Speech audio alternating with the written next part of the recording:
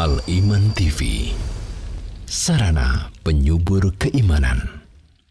Alhamdulillahi Rabbil Alamin Wabihi nasta'inu ala umuri dunya wad din Wassalatu wassalamu ala ashrafil anbiya'i wal mursalin Nabiyyina Muhammadin wa ala alihi wa sahbihi wa tabi'in Wa atba'i tabi'in Wa man tabi'ahum bi ihsanin ila yaumiddin amma ba'd.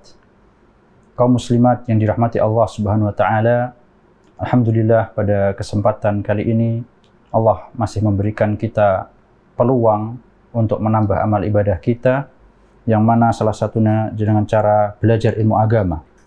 Dan insya Allah kita akan melanjutkan pembahasan tentang fikih wanita kita yang mana insya Allah pada kali ini saya akan berpedoman ya atau menggunakan uh, urutan pembahasannya dengan sebuah kitab yang berjudul Fiqhus Sunnah Linisa ya, fikih sunnah bagi wanita yang dikarang oleh uh, Syekh Abu Malik Kamal bin As-Sayyid Salim ya. Dan sebenarnya ini sudah ada terjemahannya ya, diterjemahkan ke bahasa Indonesia. Jadi mungkin kalau ada yang mau mencari bisa dan bisa dibaca sendiri pula. Dan itu suatu hal yang bagus ya. Jadi uh, membaca buku sendiri itu sebenarnya suatu hal yang positif, bagus. Namun Eh, dengan kita mengikuti atau tetap mengikuti kajian seperti ini dan kajian-kajian yang lainnya, di sana paling tidak ada dua manfaat ya yang akan didapatkan oleh seseorang yang mana ini merupakan sebuah keistimewaan dibandingkan yang hanya membaca sendiri ya. Yang pertama yaitu keistimewaan uh, akan mendapatkan pahala sebagaimana orang yang duduk di majelis ilmu ya sebagaimana pada pertemuan sebelumnya kita sudah jelaskan bahwasanya siapa yang mengikuti pelajaran, mendengarkan pelajaran meskipun secara online seperti ini dikarenakan ada uzur ya, dia mungkin tidak bisa datang langsung atau mungkin ada kesibukan ya, atau mungkin rumahnya jauh dari majelis maka kata Syekh Sulaiman Ar-Ruhaili insya Allah dia akan tetap mendapatkan pahala sebagaimana dia hadir di majelis ilmu. Kemudian di antara keistimewaan yang lain apabila seseorang mengikuti uh, kajian ya, secara bersama-sama seperti ini adalah kemungkinan untuk menyelesaikan pembahasan tersebut lebih banyak ya dibandingkan yang hanya mencukupkan diri dengan membaca saja. Ya.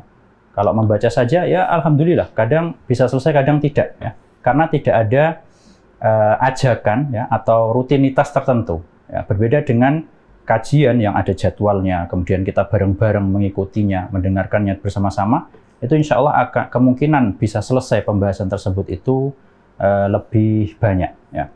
Kemudian di antara keistimewaan yang lain, ya, mengikuti kajian ustadz-ustadz dan uh, ulama-ulama, ya, itu memiliki uh, keistimewaan yang lain dibandingkan seorang membaca buku sendiri, yaitu adalah dia dapat belajar di bawah bimbingan uh, ahli ilmu, ya, karena sebagaimana sebagaimana uh, dikatakan oleh Imam Syafi'i di antara cara agar seseorang bisa mendapatkan ilmu adalah salah satunya adalah sohbatu ustadz ya.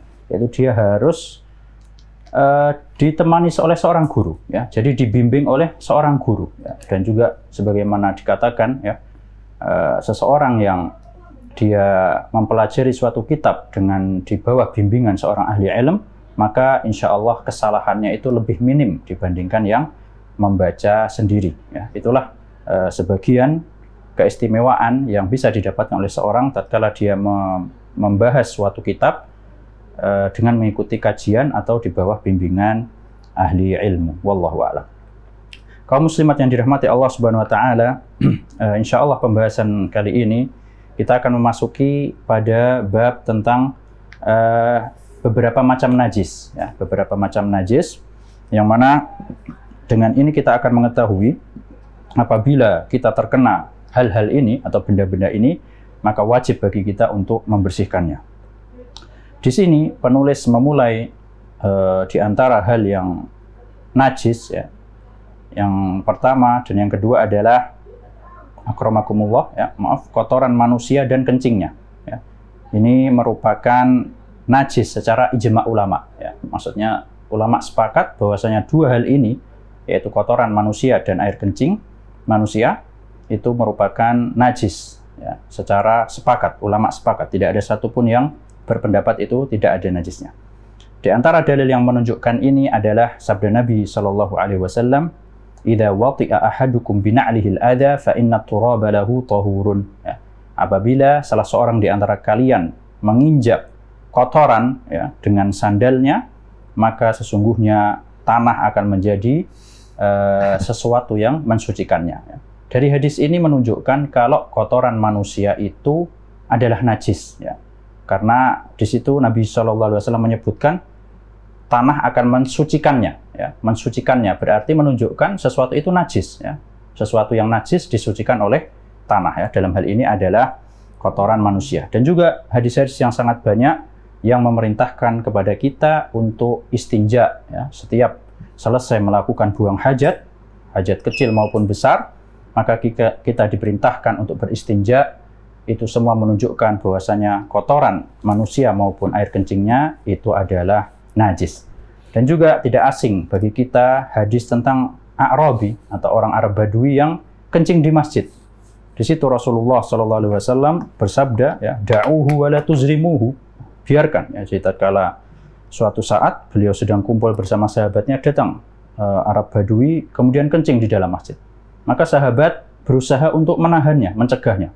Maka kata Nabi Shallallahu Alaihi Wasallam, ya, ini menunjukkan bagaimana hikmahnya beliau. Ya, dan juga ini merupakan sebuah pengamalan kaidah uh, idza ta'aradat dororani atau mafsadatani uh, akhafuhuma ya. apabila ada dua mafsadat yang terkumpul maka harus kita uh, lakukan yang paling kecil ya agar terhindar dari yang paling besar ya jadi kalau ada dua mafsadat yang mana kita harus melakukannya mau tidak mau maka kita harus pilih yang paling minim mafsadatnya. Ini salah satu contohnya ya. Jadi sama Nabi dilarang ya, jangan kamu berhentikan ya, kencingnya tersebut. Kenapa? Kalau diberhentikan khawatirnya lebih parah, mafsadatnya lebih banyak ya. Air kencingnya akan tercepat di mana-mana ya, masjidnya akan semakin banyak yang terkena ya. Tapi kata Nabi SAW, da'uhu wa la tuzrimuhu ya. Biarkan dan janganlah kalian uh, cegah ya Tatkala uh, orang tersebut telah selesai dari menunaikan hajatnya, maka Rasulullah SAW pun memerintahkan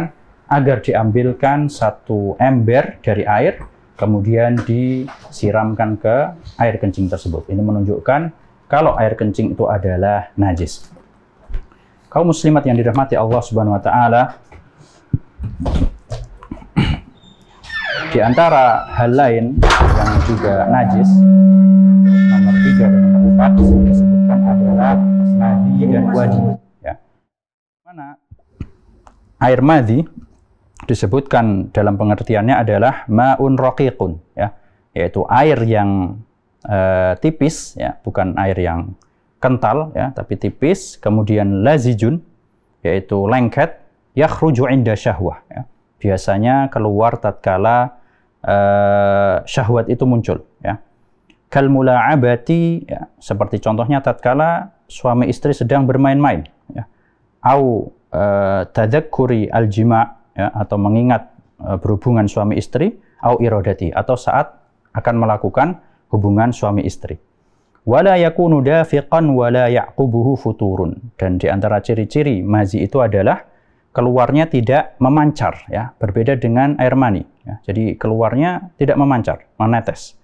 Dan tidak mengakibatkan eh, apa namanya capek ya. Capek atau lemah setelah keluarnya air madhi ini. Wa yakunu lirrajuli wal mar'ati wa huwa fin nisa'i akthar ya. Dan madhi itu bisa keluar dari laki-laki maupun wanita namun kata beliau di sini ya beliau menukil dari Fathul Bari karya Ibnu Hajar dan juga uh, Syarah Sahih Muslim karya An-Nawawi fin nisa'i akthar jadi pada wanita itu lebih sering keluar ya. Wa huwa najisun 'inda 'amatil fuqaha dan menurut uh, kebanyakan para fuqaha ahli fikih madhi dan wadi ini najis ya alias harus dibersihkan apabila keluar dari tubuh kita ya dan menempel di pakaian kita. Di antara dalilnya ya yaitu dalam Sahih Bukhari dan Muslim hadisnya sahih Nabi wasallam pernah ditanya tentang madhi ini ya. Maka beliau pun menjawab, yaghsilu dzakarahu wa yatawadda. Ya. Jadi hendaknya dia mencuci kemaluannya dan kemudian berwudu ya. Maksudnya berwudu ini hukumnya sunnah ya. Maksudnya kalau mau sholat ya wudu karena batal ya seperti itu. Tapi yang wajib apa? Yang wajib adalah mencuci kemaluannya. Uh, ini menunjukkan kalau madhi itu adalah najis ya. Dan dalam riwayat yang lain disebutkan hendaknya dia juga mencuci buah zakarnya ya bagi laki-laki. Maka untuk hati-hatinya dia mencuci buah zakarnya dan juga uh, kemaluannya tersebut. Nah, Kemudian ada pun wadi ya. Wadi di sini disebutkan pengertiannya yaitu maun abyad ya. Jadi air yang warnanya putih, sakhin ya. Jadi agak apa namanya? kasar ya seperti itu, bukan lembut airnya. Yakhruju ba'dal baul ya. Biasa keluar setelah buang air kecil. Wa huwa najisun ijma'an ya. Untuk wadi ini uh, ulama sepakat bahwasanya dia najis ya dan telah sahih dari sahabat yang mulia Abdullah bin Abbas radhiyallahu anhuma beliau pernah mengatakan al maniyu wal wadiyu wal madhyu ya madhi madhi itu bisa dibaca madhiyu madhyu ya seperti itu di antara cara bacanya. Amal maniyu fahuwa alladhi fihi al ghuslu ya. Adapun air mani maka itu yang wajib mandi ya.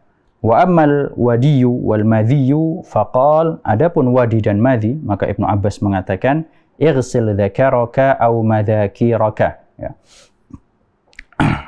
uh, cucilah kemaluanmu ya atau buah zakarmu juga sekalian dicuci wa tawaddu wudu'aka lis-shalah. Dan uh, wudulah dengan wudu tatkala mau sholat. Ini maksudnya kalau memang setelah itu uh, dia ingin sholat maka harus wudhu ya. Adapun cara mensucikannya ya cukup dengan dicuci kemaluannya. Kaum muslimat yang dirahmati Allah Subhanahu wa taala. Kemudian di antara hal lain yang najis adalah damul haid wasairud dima, yaitu darah haid dan darah-darah yang lainnya. Ya. Dalam sebuah hadis yang sahih di dalam Sahih Bukhari dan Muslim dari sahab, sahabiat yang mulia Asma binti Abi Bakar radhiyallahu anhuma beliau pernah berkata ada seorang wanita datang kepada Nabi Shallallahu alaihi wasallam kemudian dia berkata wahai Rasulullah uh, salah seorang di antara kami ini ada yang bajunya terkena darah haid ya lalu bagaimana cara mensucikannya maka Nabi Alaihi Wasallam bersabda ya tahuttuhu ya pertama dikerik dulu digaruk dulu ya bekas haidnya itu. Thumma taqrisuhu bil ma'i ya, kemudian dipercikin air, thumma tandahuhu kemudian dicuci ya. Thumma tusalli fihi. Kemudian apa? E, barulah dia boleh sholat di dalamnya, maksudnya menggunakan baju tersebut ya. Dari hadis ini kita dapat memahami bahwasanya darah haid itu adalah najis ya. Karena seandainya tidak najis, tentu oleh Nabi Shallallahu Alaihi Wasallam tidak akan diperintahkan untuk mensucikannya ya, tidak akan diperintahkan untuk uh, apa menggaruknya, mengereknya, kemudian dicuci ya. Tentu tidak perlu diperintahkan seperti ini. Ini menunjukkan kalau darah haid itu adalah uh, suci para kaum muslimat yang eh darah haid adalah najis, afwan. Uh, dan apa namanya? darah-darah yang lainnya pun juga hukumnya seperti darah haid ya, mungkin keluar darah dari luka, darah dan lain sebagainya. Maka selama darah tersebut bisa diatasi, ya maksudnya eh, apa namanya kita mampu untuk menahan keluarnya darah tersebut, kita mampu untuk sholat tanpa menggunakan baju yang tidak berlumuran darah, maka wajib bagi kita untuk eh, mensucikan diri dari darah-darah yang ada. Akan tetapi para ulama mengecualikan kalau darahnya itu kadarnya sedikit, ya.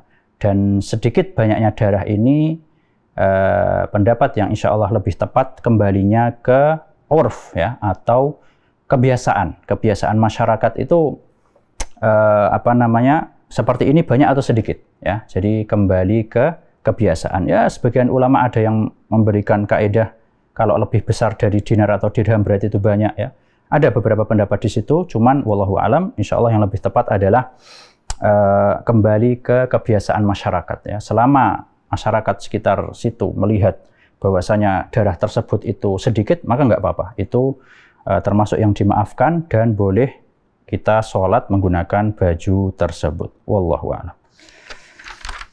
Kaum muslimat yang dirahmati Allah Subhanahu wa taala, di antara hal lain yang uh, najis adalah rauthu ma la yu'kalu lahmuhu ya, yaitu kotoran dari hewan yang tidak dimakan dagingnya ya. Kotoran dari hewan yang tidak boleh kita makan dagingnya ya. Dalam sebuah hadis dari uh, sahabat Abdullah bin Mas'ud radhiyallahu anhu ya, bahwasanya pada suatu saat Nabi Shallallahu Alaihi Wasallam uh, pernah ingin melakukan buang hajat, ya. Kemudian beliau meminta untuk diambilkan batu, ya, tiga buah batu. Ya. Beliau ingin beristijmar, yaitu beristinja eh, uh, tapi meng tidak menggunakan air, istijmar dengan batu. Kemudian tatkala sahabat ini mencari, dia mendapatkan dia hanya mendapatkan dua batu dan sebuah kotoran himar ya. Dan sebagaimana kita ketahui, himar apalagi himar yang uh, jinak itu termasuk hewan yang tidak boleh dikonsumsi ya. Maka tatkala hal itu diberikan kepada Nabi SAW, beliau pun mengambil dua batu itu dan membuang kotoran himar tersebut seraya beliau mengatakan hiya rijisun ya. Kotoran itu adalah najis ya. Dari sini para ulama e, mengambil faedah ya sebagian ulama berpendapat bahwasanya e, untuk kotoran hewan yang tidak dimakan dagingnya itu hukumnya najis ya. Ya seperti e, apa namanya kucing ya anjing kemudian harimau ya dan lain sebagainya hewan-hewan yang memang tidak boleh dimakan dagingnya. Uh, adapun bagi hewan-hewan yang memang bisa dimakan dagingnya, ya, seperti ikan, ayam, bebek dan sebagainya, maka di sini disebutkan kalau kebanyakan makannya adalah uh, apa namanya najis, maka kotorannya pun juga dihukumi najis. Ya. Jadi ada hewan-hewan yang memang dia di, dikonsumsikan atau dikasih makanan yang kebanyakan najis ya. Jadi patokannya itu kalau makanannya kebanyakan najis atau dominan najisnya berarti kotoran dari hewan ini pun najis ya. Begitu pula sebaliknya kalau ternyata eh, najisnya itu tidak dominan atau sedikit maka kotoran dari hewan ini pun tidak najis. Wallahu a'lam. Kaum muslimat yang dirahmati Allah Subhanahu wa taala di antara hal lain yang dianggap najis oleh syariat ini adalah lu'abul kalb ya, yaitu air liur anjing. Ya. Dalam sebuah hadis Nabi SAW pernah bersabda, "Tuhuru ina'i ahadikum idza walagha fihi al-kalbu ay yaghsilahu sab'a marratin ulahunna biturab."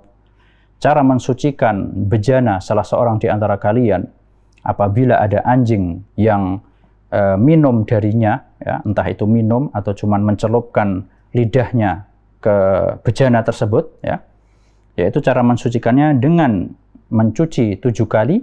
Yang pertama dengan tanah, ya. Maksudnya yang pertama dengan tanah itu entah dikasih tanah kemudian disiram oleh air atau tanah dicampur dengan air kemudian digunakan untuk siraman yang pertama. Kemudian baru disiram enam kali dengan air seperti itu.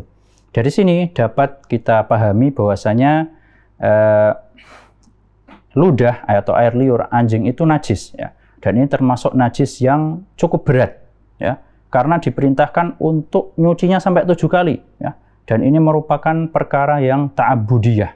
Kita tidak tahu alasannya apa ya. Yang penting kita datang perintah untuk seperti itu ya udah kita lakukan ya. Jangan sampai kita berpikir oh ini insya Allah lima kali sudah bersih ya. Atau tiga kali insya Allah udah nggak ada kotorannya kok sudah disiram pakai air lumayan banyak misalnya ya. Jadi Eh, kita wajib tunduk terhadap apa yang diperintahkan oleh syariat, entah kita tahu hikmahnya maupun tidak ya.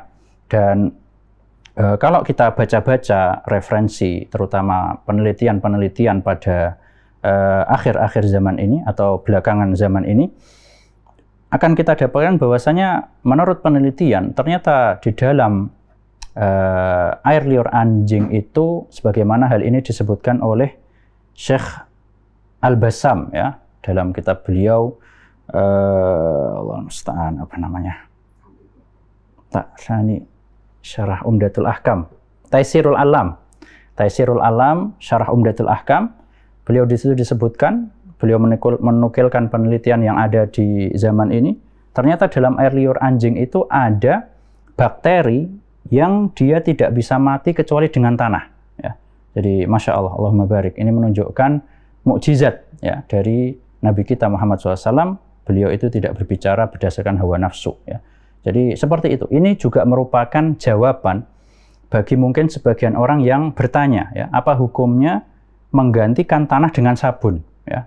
Jadi boleh nggak kalau ada uh, bejana yang habis dijilat anjing atau anjing minum dari bejana tersebut, kita bersihkan pakai sabun saja sebagai ganti dari tanah. Ya. Ini juga merupakan pendapat yang insya Allah lebih tepat, yaitu sabun dan lain sebagainya tidak bisa menggantikan peran tanah dalam masalah ini. Wallahu alam. Dan juga Eh, menurut pendapat yang insya Allah lebih tepat, ini tidak terbatas hanya bejana saja. Ya, meskipun ada sebagian ulama yang berpendapat hukum ini maksudnya mencuci tujuh kali khusus bejana. Ya, tapi pendapat yang insya Allah lebih tepat ini umum ya untuk bejana ya, atau mungkin baju, misalnya baju kita habis digigit anjing misalnya, semoga saja tidak ya, atau anjing menggigit uh, apa namanya bantal dan sebagainya, maka menurut pendapat yang lebih tepat insya Allah tetap cara mensucikannya harus seperti ini, yaitu tujuh kali.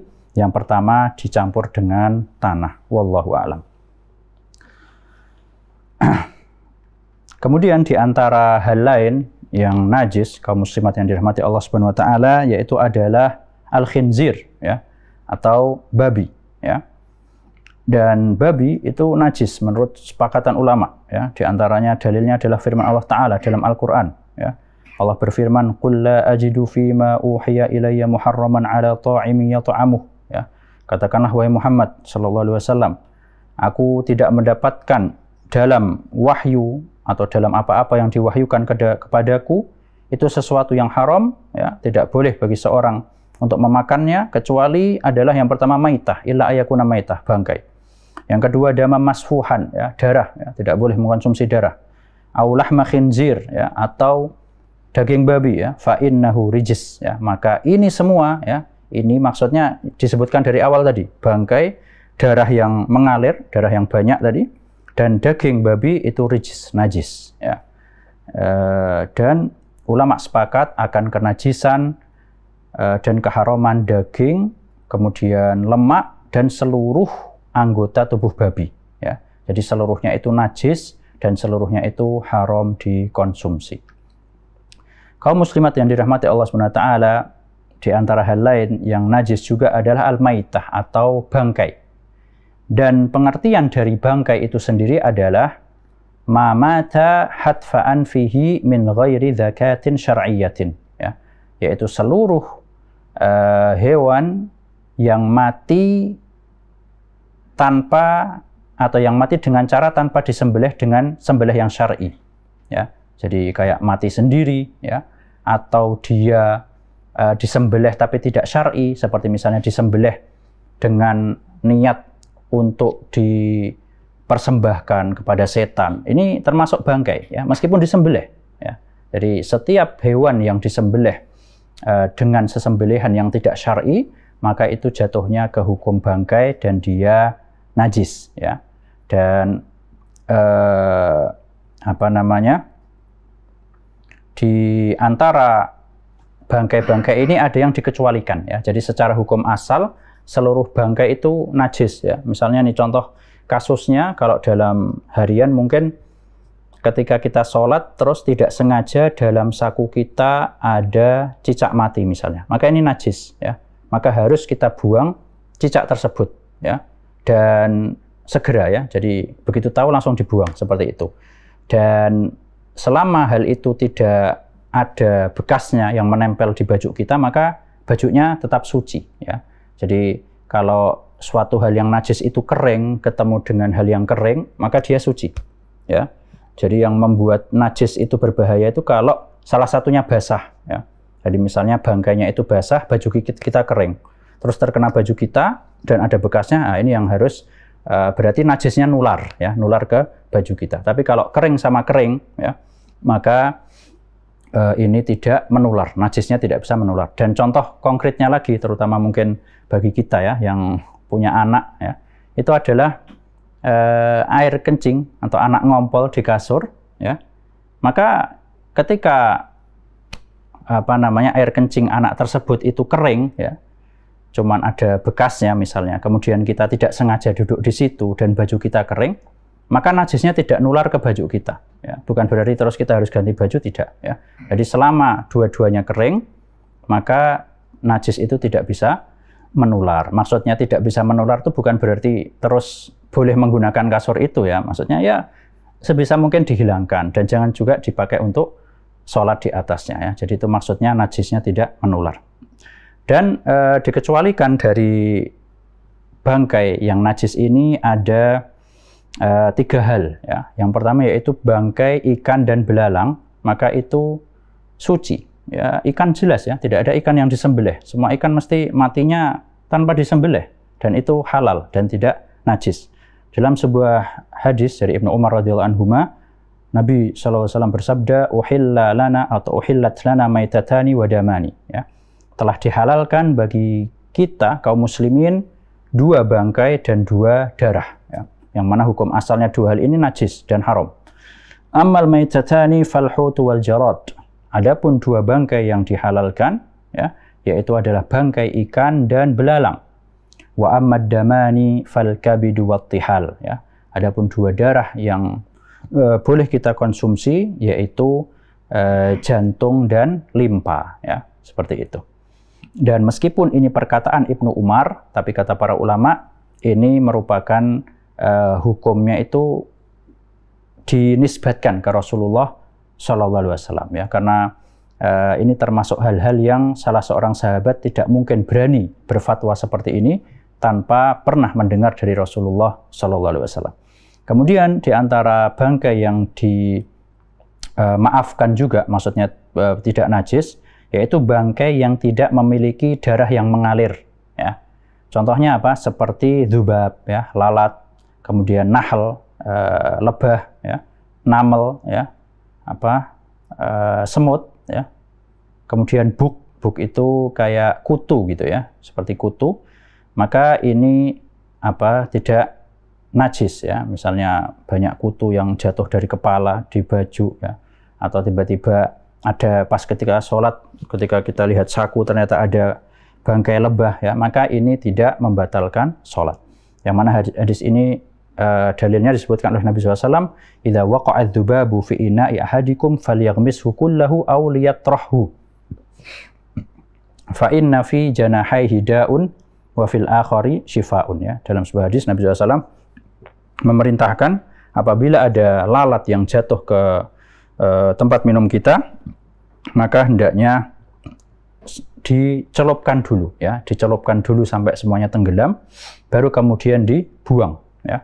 Apa alasannya? Karena di salah satu sayapnya itu membawa penyakit dan di sayap uh, lainnya itu ada obatnya ya. Ini juga merupakan uh, mukjizat dari Nabi Shallallahu Alaihi Wasallam ya.